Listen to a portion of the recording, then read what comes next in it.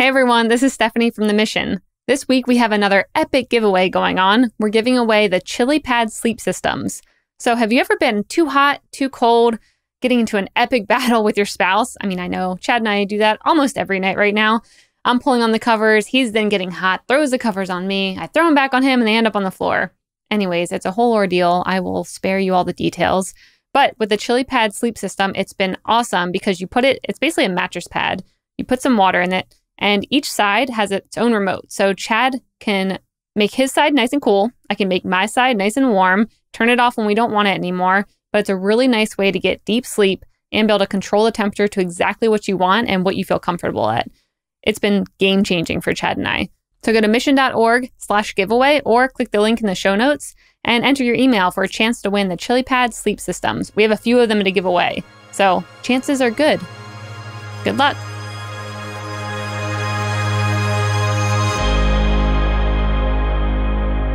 I'm Alec Baldwin, and you are listening to Mission Daily. Selected as Best of 2018 by Apple, Mission Daily is the number one podcast for accelerated learning.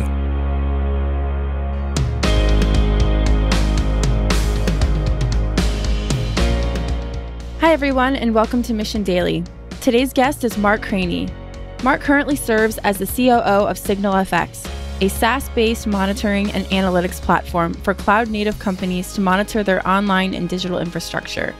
Prior to that, he had a seven year stint at the renowned venture capital firm Andreessen Horowitz. In today's episode, Mark and Ian sit down to discuss Mark's background in the venture capital space, why he got out of that to join the team at SignalFX, and his approach to recruiting and developing the most talented people in any given field. Stay tuned for more from the legendary Mark Cranney. Welcome to Mission Daily. I'm Ian Faison, Chief Content Officer here at Mission.org. And in studio, Mark, what's going on? You, man. you know, you're really what's going on. Uh, we are excited to have you today. You have one of the, uh, you know, I'm sure you get it, get it a lot, but you have a section of hard thing about hard things that was one of my favorite sections ever in uh, in a business book or any book because it was talking about hiring a new sales guy. And it was exciting uh, for me to read that for the first time. And it's exciting to have you here in studio. Well, happy to be here. So we're going to get into a little bit of, of your background. We're going to talk about some cool stuff that you did at A16Z, and we're going to talk about what you're working on at Signal FX. I want to start with what was your thought when you read the book of how you were portrayed by Ben? Ooh, this is a curveball. Uh, well, it's good to get rectified, I think. Ben wrote another book. Uh, I think it was announced this week. It's coming out in the fall. Oh, no kidding. So, yeah, one on culture. Um, my thought was his perspective was kind of one sided of how they thought about me, what he kind of left out, and I think is rectifying the next go around was what I thought about them. So, in any type of recruiting situation, it's a two way street, and you've got to be uh, there's got to be a fit both ways. And I don't want to give away the punchline, but yeah. uh, I think Ben's going to rectify that in his book that's released this fall. So, I love it. That's yeah, great. It'll be fun. So it's great, great title. At least a little section where he puts my side in there. So I just love that he was looking for one thing and trying to like pattern match based off of feedback and met you. Do you feel like that thing is one of the mistakes that a lot of people make when they're hiring is like they're trying to do some pattern matching or something based off of what someone else told them rather than following kind of like their playbook or what they think the job that needs to be done? Well, I think back then that, you know, and if you read Ben's book, they, they were learning on the fly, right? So they didn't really have a, a real deep set of criteria, hiring criteria. Uh, I think Ben had been through four or five of my predecessors before mm-hmm. I got there. So it wasn't like they were skilled at it. And you know, so knowing what your criteria is and, you know, what's going to be a good fit for the, the situation, I think Ben did a good job kind of articulating why it did turn out. the way it turned out, at least in that scenario. But you know, knowing what you need at the time is is probably one of the more important criteria. And you know, typecasting off of you know image and or if you look left and right and what everybody else has might not fit your situation. So they were you know behind. I mean, dramatically behind and in deep trouble. Uh, the thing he left out of the book was I wasn't looking to come out west. I wasn't looking to join them. I really wasn't looking. You know, their culture was not a fit for me either at, at all. In fact, the recruiter called me multiple times, and I told him no multiple times. That's the piece he kind of left out. Was I said no, I'm not. I mean, that they called it oopsware. Yeah. Uh, his competition was, you know, who I knew his competition. I, a lot of his competition were it was a company called Blade Logic that I had worked with. You know, the, the guys running that company were three, four years ahead of them on the product end and the go to market. I knew they're getting killed. And I finally, I was getting on a plane to come out here and agreed to uh, Lily in the airport to say, look, I'll go see Ben and Mark. Right, I wouldn't mind meeting them, but there's no way I'm going to take this job because it's just it's not a right fit. It's probably not the culture fit. It's you know it's just not going to be for me. So, frankly, it was the connection uh, with Ben and I that that kind of put us over the hump. So on my side, anyway.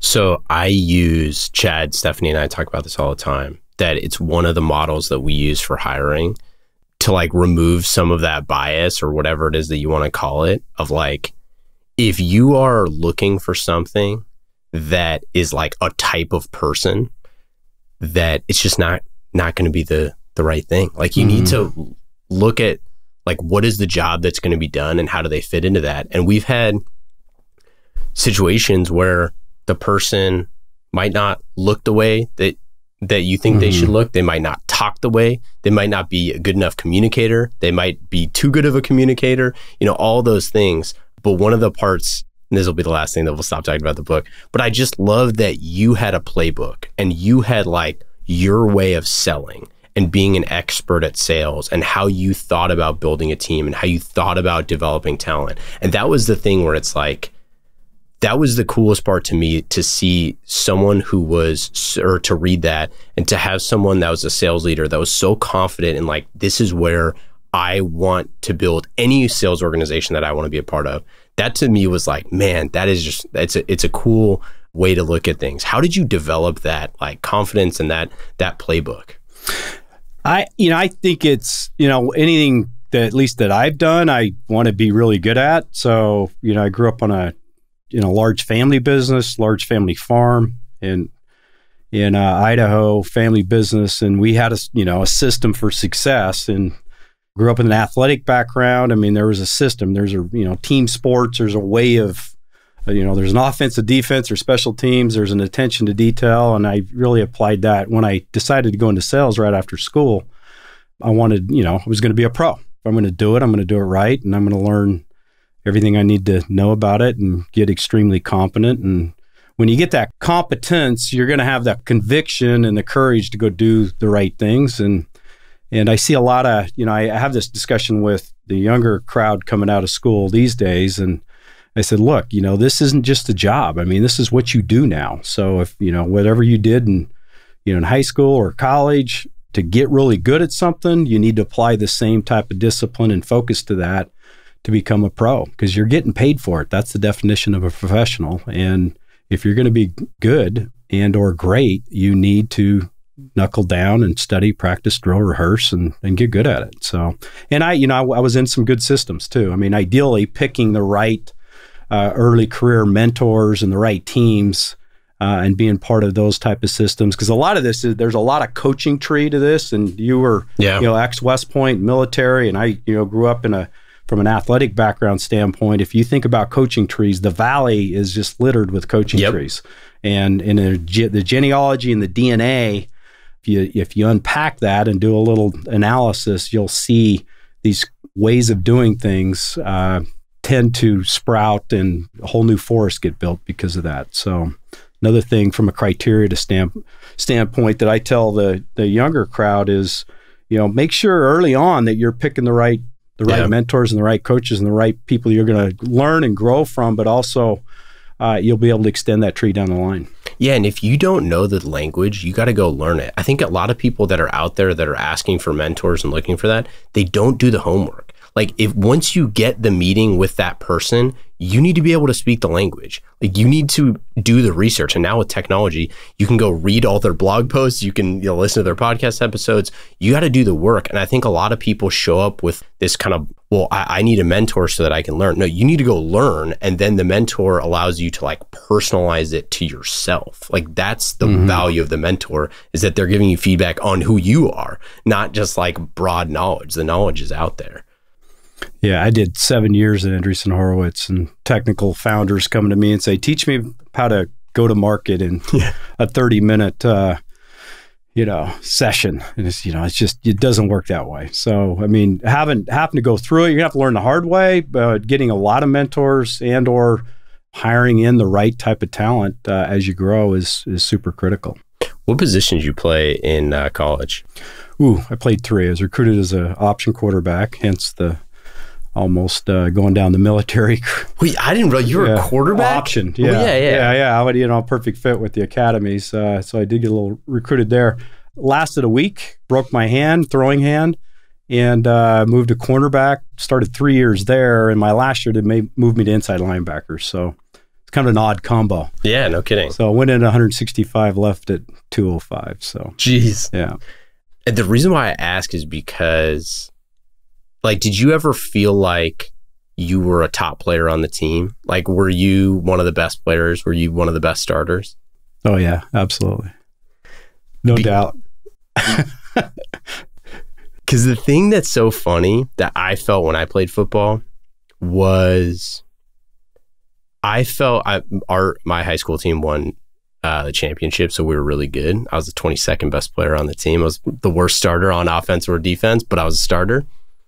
And the reason why I say that is like I never felt like I was talented enough to be a leader back then. I felt like I could like lead with my actions, but like I wasn't good enough, you know, like who's going to listen to the guy who sucks? And I always felt like I wanted to put myself in a place in my career where I could be the best at whatever I was doing. And I think a lot of people feel that like imposter syndrome of not being the best, of not having the talent to be able to lead. Especially like a lot of founders feel that way, I think. Did you ever feel like that there was imposter syndrome either like in your career or in the founders that you were working with when you were at Andreessen Horowitz? Uh, yeah, I think you know, I think particularly early on, I think really that's a time on bike and a competence issue, right? You get enough time on bike, you get enough at bats or enough tackle drills, whether it's an athletic event and or FaceTime with a customer or time on, you know, writing code, then you know that's kind of one of the overarching theses at Andreessen Horowitz was, you know, investing in these technical product centric founders that have kind of earned and learned a secret, kind of something no one else, you know, knows. Where I think they get a little out of waters once they go do the founding part and get up and running, they, you know, there's a lot more to building a company and a business over time. And and the ones that really, you know, figure that out and start to bring, you know, they're able to attract and retain and, and grow talent in all the other functions of the business, the ones where you see a lot of the successes. So Do you think that like your career up until this point has kind of really prepped you to be COO of Signal FX? I mean, this is a this is a super hot company. Obviously, we've we've talked to a bunch of executives at Signal FX on on our different podcasts. We're really excited about the future of the company. Is this something where it's like you've kind of built to this point? Oh yeah, without a doubt. I mean, the, it was an opportunity to kind of run all the go to market. Karthik, the founder, technical founder, CEO, definitely a product guy. There's a lot of similarities to, and one of the attractions to this company and the role and the team was it, was a similar situation with Ben uh, when I joined Opsware. Was Ben's real hardcore product executive, and uh, Karthik's similar, right? He, Mhm. he was actually with Ben and Mark at, at Loud Cloud, Mm-hmm. and him and another one of the Loud Cloud Opsware guys ran monitoring, you know, at Loud Cloud. One of those goes on and was our chief architect at at Opsware. We subsequently sold that company to HP. That's when a lot of those guys got recruited into Facebook.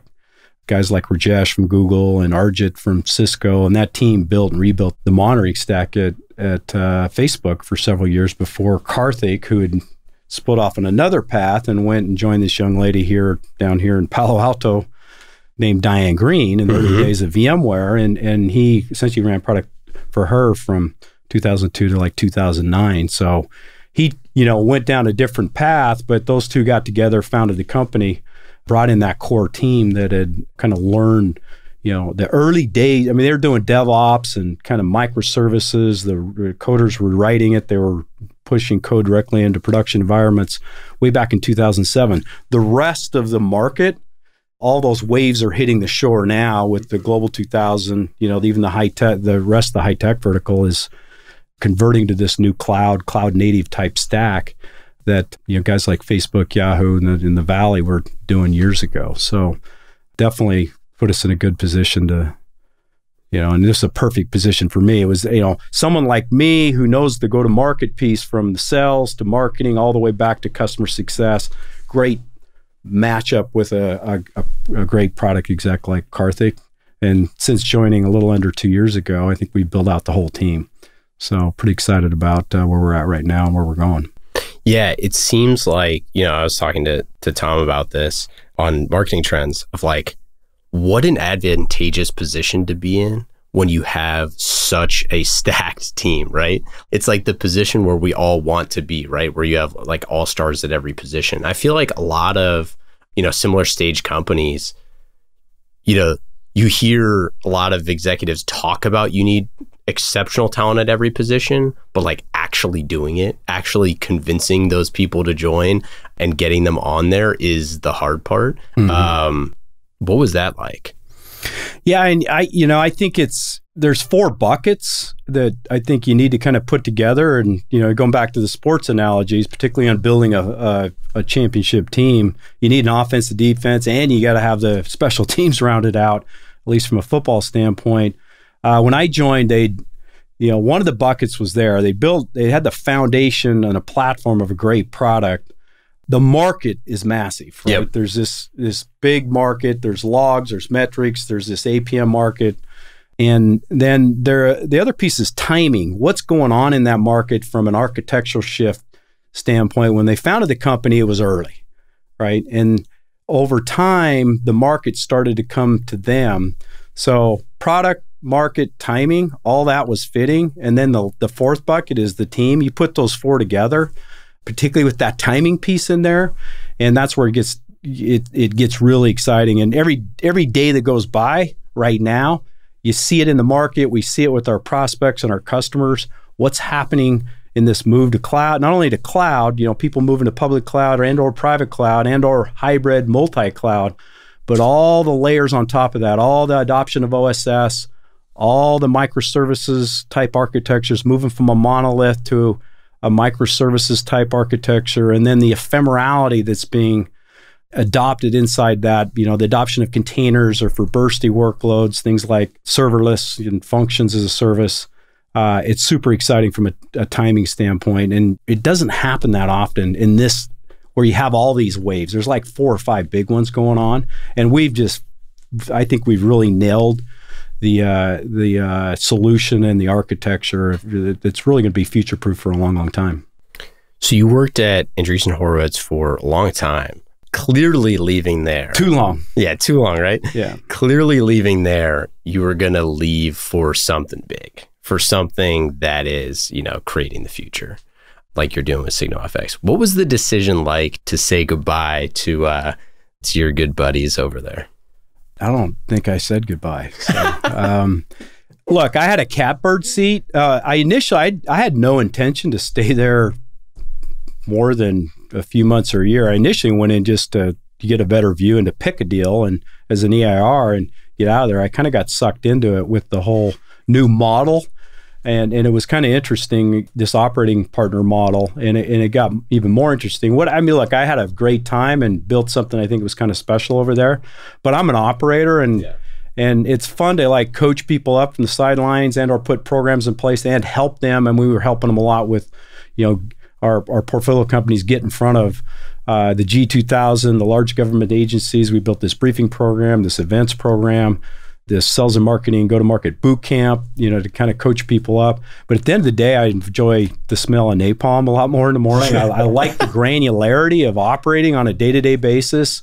And particularly when you can do it across not only the sales side, but marketing, customer success, and back into the product piece and make sure you're, you know, building, you know, great great products and great experiences for your customers and and and you know be able to help them from a value standpoint uh, in this cloud journey you know for a long long time. So uh, only thing i regret is not i wished I had done it earlier. So gotten out of there earlier. But i had a great time. It was fun. So that's hilarious. I think it's really interesting to look it's kind of like being the difference between being a house cat and an outside cat. Yep. right? Being cooped up in sand hill road. That's house cat stuff. Well, th- I mean, there's a lot of people who go from founders to investors. Not a lot of people that go back from being an investor into uh, to start another company. it's funner at the point of the spear. Yep. You know, the getting shot at and shooting back is a lot funner. But you know, different strokes, different folks. I want to talk about the uh, executive briefing program because this is something we've talked a little bit in the past about executive briefing centers, like what those are, and talk through like why those are a good idea. But this was this was you know first in class for a VC firm to build something this robust, right? Yeah, I mean, you know, others that I think you know had a few events or they have a CIO council, Yep. things of that nature. I mean, the the the early days of it were kind of interesting. I mean, initially I was hired uh, or went in to kind of help source deals on the enterprise side about half the time. The other half kind of go help Freddie and you know whoever entrepreneur with their go to market. More of kind of a counsel and advice standpoint. But what all the Caress. what, what all the entrepreneurs wanted, you know, they you know, look, they want advice, they want to know how to, but what they really needed was, hey, can you get me a meeting? Yep. Can you get me a meeting with ex CIO or CTO or you know, if it's more on the consumer side, CMO, whatever it is? And it's like, you know, I, I probably can, but you know, a that doesn't scale. And B, I'm not sure how you're how well you're going to do in that Yep. meeting, right? And are you going to be able to get a second and a third? And it's more than just a meeting to uh, run through the whole process. So, really, more out of frustration and to just do it in bulk is I just started reaching out to my contacts, and it started out with you know I think six or eight the first quarter, and it went to thirty, and then fifty, and then hundred, and we happened to be moving and taking a little more space. They said, you know, let's take a little more space and give me a few rooms, and I'll just fill them up and you know, whoever we invest in or are thinking about investing in, they're just going to be a G2000 execs and their teams in here on a day to day basis for the startups to, sh- you know, shave their cycle time to market. The, the most interesting thing to me was the reaction from the corporate side and the hunger for what, what we end up calling curated innovation. And that Mhm. was essentially my pitch. We'd reach out to the these CXO levels and say, look, you know, we're kind of pointed the spear out here in the valley. Andreessen Horowitz. This is the early days too, that no one knew who Andreessen Horowitz was, but we're looking at a few hundred, and eventually it was several thousand uh, funding opportunities in a- a year. Uh, you're not getting innovation from your large technology company providers like you used to. Things are just happening too quick, right? Because the cloud and social, mobile, whatever, whatever it is we'll go back, you know, inside our, you know, tell us about your initiatives, a lot of discovery and, you know, what's going on in your world. We'll go back in our inside our portfolio or even outside our portfolio, other companies we've looked at that may be able to help you short, medium, long term.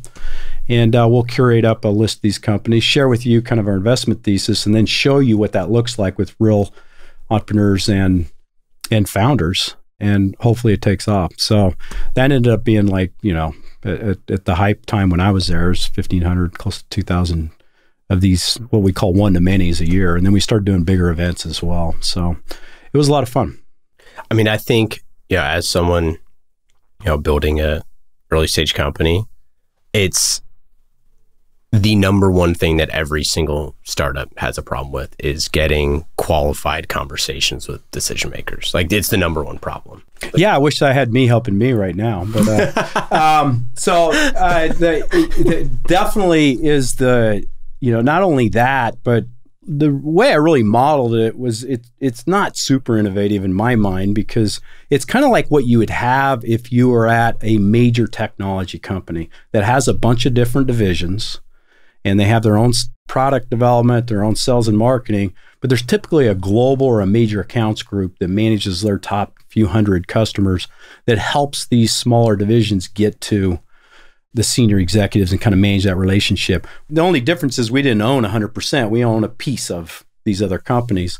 And what it did was it just, you know, the, the startup typically doesn't have that kind of sales and marketing muscle. It's going to take years for them to build that up to get that kind of exposure. It just shaves that cycle time, which is a great IRR for from an investor standpoint. If we can take you know take some cycles out of uh, getting you know their time to market. At the same time, if you can augment that with kind of helping them build up that muscle from a process, from a recruiting uh, standpoint, that was kind of the thesis of doing that. So and you know help them you know you know what kind of talent do you need what stage and you know over and above just you know getting the right companies that are going to adopt their technologies a lot quicker. So uh, all the same principles applying kind of even as a standalone startup right now we, we have to be very careful with our you know our, our sales and marketing spend and make sure we're segmenting and targeting and, and getting to the companies in each vertical that are further down the kind of adoption path that's going to be the perfect fit for you know our real-time streaming analytics uh, monitoring solutions. So, you know, I don't need as much help as some of the other ones did, but uh, definitely uh, saw a lot of value in it. Yeah, I mean, you know, we we talked to a lot of uh, executives like CIOs, CTOs on IT visionaries, and then you know CMOs on marketing trends.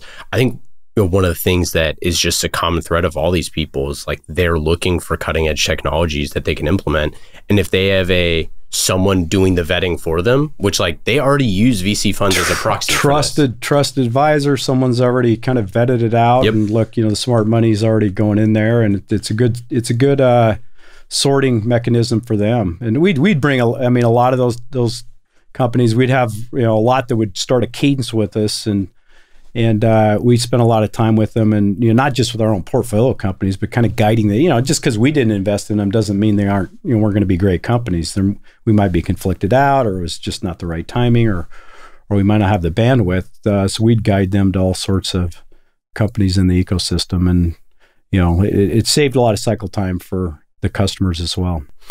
Did you ever have some of those companies kind of over leverage uh, some of the startups. I know this is something you've talked about a little bit in the past about how they can go into those meetings knowing that they're a pretty big company and you know they're not going to sign your master service agreement or whatever it is. And they have the uh, the opportunity to say hey could you build this thing? Uh, and the startup kind of has to listen to it or is it just kind of all come out in the wash? Uh, oh absolutely. Yeah, a big company can tip a startup over pretty quickly if both sides aren't careful. So you got to be able to qualify. Look, it's a two way street from a qualification standpoint. It's not just the big company picking a startup technology. It's, you know, the, the startup's got to have some focus and some discipline and maturity around, you know, is this the right thing to do? Is that, am I going to end up being, you know, making a one off for them that's not going to serve my broader market? So you got to be disciplined there. I want to switch gears to uh, to what you look for in talent. Like, what are the type of people that you've kind of selected from a mindset perspective that you want on the team? Yeah, I think it depends on the role and eh, whether it's a individual contributor, a manager, a leader, and is it sales, is it marketing, is it more on the customer success side? I talked a lot about at least my kind of high level criteria for sellers, and I kind of bucketed into what I call success themes. Uh, and a lot of it, it's not necessarily, you know, what you know. There's the big bucket that everybody looks at as far as track record in the business, right? You know, what school they went to, what kind of jobs they've had, how they've performed. So that's the easier thing to flush out. I like to go a little earlier in the career and kind of find out what makes them tick and what are their more character type issues and success themes. Things like you know courage and focus and discipline and and how much kind of charisma or woo do they have you know, what have they overcome in their life? Uh, a lot of a lot of these things, as far as how people are wired, are you know well baked way before they hit a, a university. So, what kinds of things they've had to overcome early in life as well as throughout their entire career, and kind of where they're at from a life stage standpoint. Because just because somebody was successful, you know, a few years ago with XYZ company is going to be completely different now if they're at a different life stage. So, uh, it's a 360 view. I really I I have a personal affinity to you know the junior military officers and and and team sport type uh, you know NCAA athletes, uh, particularly on the selling side, just because of the the discipline and the focus they can take a beating, not just from me, but from. but from a customer, right? They don't necessarily hear no as easily. They'll run through a wall for you with the right training, mentorship, and leadership. And they'll also do that for their customers and prospects. They'll do what's right. They'll they can push through resistance, and and they can also follow a process more so than uh, somebody would that might not have that background. But it could also be things like student government and all sorts of different backgrounds as far as you get into the you know the earlier parts of their career. So on the marketing side, there's you know multiple buckets. Depends on what kind of marketer are we talking about. Are the creative side? Are we talking about demand gen? Demand gen type folks. I want hardcore systems, process oriented. I definitely need the creative types on the content side, but also with the discipline to to crank out content uh, very quickly. The granularity on the technical product marketing side. I mean, the harder core engineering, but but the ability to work left uh, upstream with product management and in engineering, as well as to traverse all the way over to understand the the customer's side of the equation is is a very very unique skill I think from a technical product marketing standpoint. So having that kind of you know technical customer facing nuance is super important. And look kind of the front line of of an enterprise selling organization that doesn't get enough credit is the sales engineers or the solution architects. Mm-hmm. I mean these these are folks that are just hardcore, deep into your product, your market, your personas, up and down the stack, all the ecosystem around it. And then you're asking them to be customer facing as well. That's a very unique blend, probably the gold it, from a hiring standpoint, you know, in the gems that we're always looking for. And, and we want to make sure we invest fairly heavily in them as well. So, you know, it really depends on the role. But the big key, if I had any advice for you know younger entrepreneurs out there is you know understand what your your hiring criteria is, what it's going to take to be successful. Be able to articulate that, write it down, put in the job spec. Make sure all your managers are kind of sticking to the success themes. And and look, you might need to adjust them, but you know, kind of understand and you know where you can pull them from as far as companies just been acquired and you know there's this they're the startup guys that like the growth piece and now they're in a big company let's go grab those guys or gals that were there early and have been through that whole ride, they're the ones that are going to probably be attracted to your type of opportunity now. And I have a list, you know, right now that I'm working off of those types of scenarios, right? We want people that like that building process and like to go through the sausage making and to see something come to fruition when it all starts to come together, everything working flawlessly. Sales, marketing, customer success, anything that you're dealing with people, uh, you know, buying and renewing the product have huge highs and huge lows. How have you like went through your career and dealt with like the highs and lows yourself? And then how do you do that with advise your team to deal with that? Look, you probably, uh, I probably remember the the hits or the lows. I, those are the ones that stick with me a little bit longer. But you have to have a pretty short memory, right? And I like to joke, I've never lost a deal. I've just run out of time. And some of my best selling jobs have been getting a customer not to buy somebody else's stuff, right? Even yep. though they didn't buy from us, you know. So slowing something down when you know they're going down the wrong path. But uh, I look, I think it's a short memory. You know, there's there's always the next quarter. There's always a chance to make up if you're taking a hit or you're you're not, you know, on time. And and probably the secret sauce of of the whole sales process is just to simplify it is look, there's a clock and there's a scoreboard. There's a clock and a scoreboard. And depending on what kind of business you're in, but you know, you might be in a kind of a bottoms up transactional type business that's kind of a month to month clock and a scoreboard and more the the higher end enterprise that's, you know, quarter to quarter. And you know, you got to keep your eye on both at the same time and manage that. And if you do a good job managing that, you know, putting enough points up inside the allotted time, you're going to be successful over the long term. It might be a little lumpy, but and you can make up, and or you might get ahead, but you might need to be ahead. So uh, having that kind of sports and mentality, I think, helps a lot. Short memory, clock and a scoreboard, learn the system, be rigorous around that system, do what's right by the customer, and you know the other big thing is selling. I think selling and marketing is fairly simple. I mean, it's it's kind of a battle back and forth. It's you know you're either and a lot of it's in between your own ears. Uh, you're either selling or you're sold. Mm-hmm. right? They sell you on why they can't do something, you know, use your solution or in your time frame and or you know, you sell them on why, you know, what the value of doing that is, right? And are you arming yourself with the right process, the right messaging, the right product, getting the right people on the other side to go uh, help them on that customer journey and over, you know, if you're doing the right things and you're you're understanding what their initiatives are, it's not that hard to go articulate what the critical capabilities are, the people, the process, and the tech from your side that can go help them accomplish those already funded strategies initiatives that are going on inside their company. So I think that's kind of the more simplified secret sauce of sales and marketing. How much are you involved in deals now? When is it when is it escalated to Mark? Uh, what are those type of things? When you get the request from the the AE, it says like, "Hey, could Mark be in on this uh, this one?"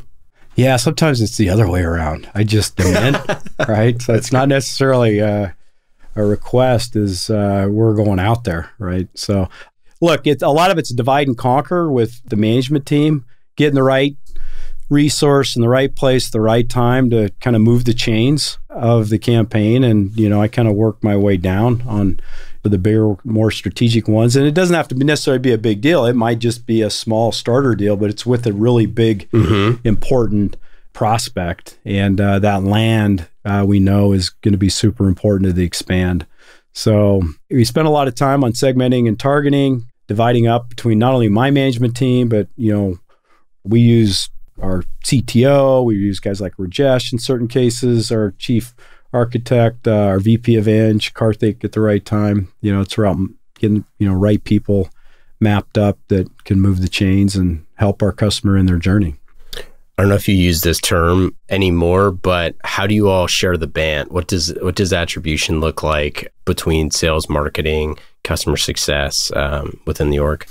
Share the band. Uh, like attribution, we we spend a ton of time on attribution. Uh, one of the advantages of having sales and marketing underneath me is if the fingers start getting pointed, I can just iron things out or Mhm. break the fingers and just uh, so you know making sure there is as little friction between the two as possible look it's all about building that top of funnel and making sure there's a smooth process down through the funnel uh, you know I we early on we we didn't have enough top of the funnel and so Tom got you know roughed up quite a bit then all of a sudden we've got too much funnel and we then we had a bulge in the funnel so everybody was getting roughed up till we unpacked what was causing the bulge. So sometimes it it won't sort its way out if you know you got sales and marketing sitting there pointing fingers at each other. So I'll I like jumping in and getting my hands dirty and unpacking those situations as quick as possible.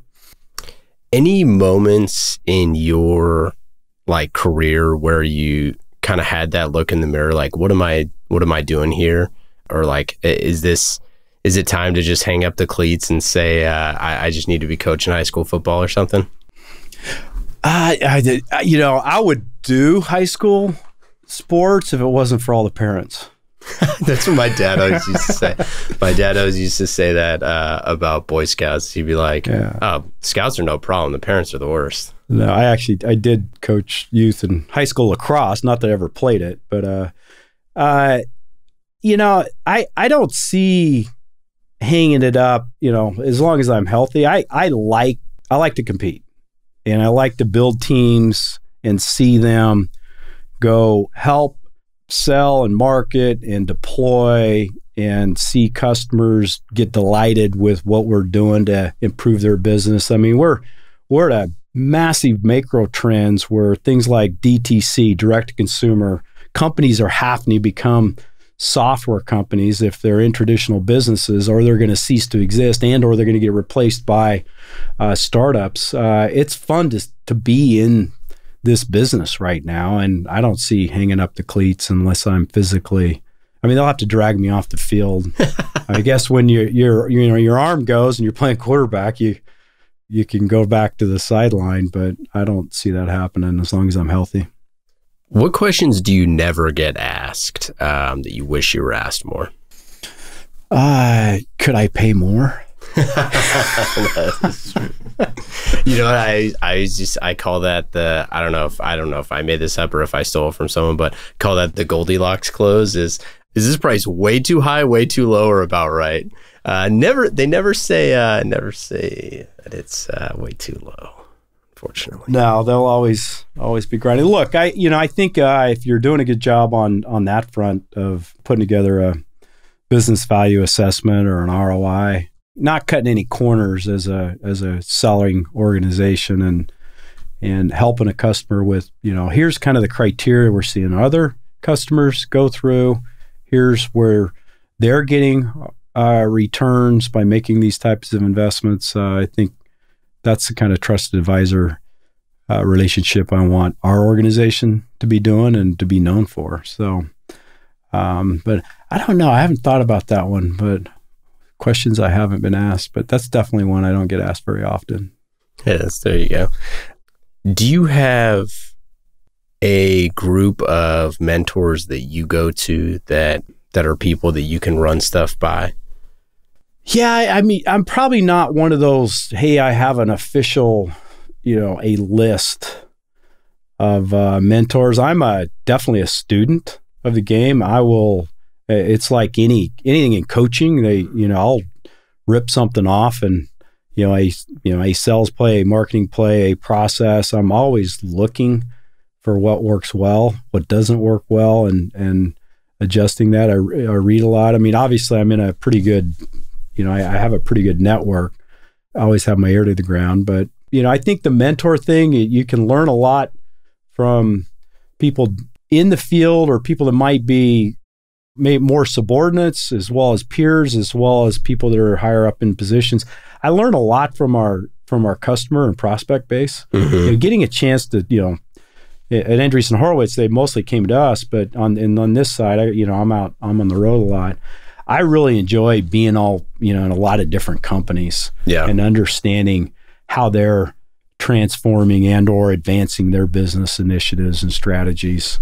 I think that's kind of the secret sauce and probably the thing that's kept my intellectual curiosity so high in this business is it's a chance to you know get out and talk to some of the most uh, interesting and innovative companies across all verticals, including the government, and and just try to help them with what they're trying to get, you know, what they're trying to accomplish from a, you know, in this role from a digital transformation standpoint. So that keeps me stimulated. Yeah, so. you know, it's why, I mean, it's literally why we're building the network of shows that we're building for this exact reason. Like what is happening at the cutting edge is not being broadcasted. You know what I right. mean? like those type of conversations, you like you can't follow those these people on Twitter. You can't do whatever. Like and the way that we used to find that information is like maybe a magazine article or something like that, or you know, maybe they got interviewed by a local paper or something. But like that stuff wasn't like the fact that you can get tactics from people with multi-billion dollar budgets that are talking about how they think about the future like what a freaking time to be alive yeah a lot of them are doing it too i mean i just recently worked with uh, and this is kind of a manifestation of of that product market timing fit that we think uh, SignalFx is definitely hitting the inflection point with. Uh, as I was, you know, working with a couple of customers, some of them were like moving from 30, 40,000 hosts running their environment uh, in AWS down to three or 4,000. Yeah. And they're packing 100 containers on top of it, re architecting. And these are born, this is a born in the cloud company. This isn't a, in a newer company. It's, it's not one that's you know, it's not somebody that's been around, you know, G2000 type company. It's a, big tech company. And uh, that's pretty, I mean, very dramatic and exciting and right in the wheelhouse. And everybody, and a lot, and, and then the G2000 is doing the same things. They're moving from, you know, 20,000 on prem servers to, you know, starting with four or 5,000, and they're going to transform their whole business to, to digital from from DTC type initiatives, you know, direct to consumer and to get closer to the customer, as well as in, you know, taking out. It might be an IoT in, in the mar- in the manufacturing space where they're, you know, it's more around new product development and changing their entire business model. Instead of selling hardware, they're they're going to sell services and connections with the equipment that they're making, as well as you know, taking out a lot of operational efficiency type initiatives and, and using software to you know increase their bottom line, not just their top line. So uh, a lot of interesting things going out there across, across all verticals. Yeah, I was talking to a uh, talking to a CIO, and they were talking about how they have forty agencies alone that they work with that they have to partner with for like their marketing stuff and that that's like part of this like as we were kind of talking about like this you know technology cio cto roles that now permeate the entire organization.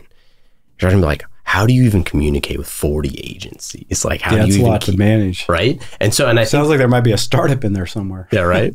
Um, but i think you know with technology and the amount of servers the amount of things and like you know the digital transformation i mean like want to talk about it the most loaded term probably in existence right now maybe not in existence but from a business tr- standpoint it is i mean these digital transformations that you're talking about i mean people wake up every single day and are freaking out about like what does this look like in 10 years? They have to talk to their board once a quarter Mhm. about their digital transformation. What an exciting time to be a startup that's that's working on that right? Yeah you just got to be careful where you're where you're putting your wood behind which arrows so. Yeah. anything else? Anything we miss? Any uh any stuff to plug here? No i appreciate you having us on the program and look forward to talking to you guys in the future yeah awesome thanks mark we appreciate it thank you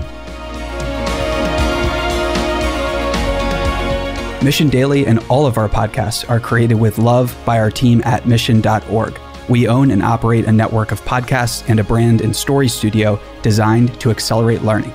Our clients include companies like Salesforce, they're a customer times five, Twilio, and Katera, who work with us because we produce results.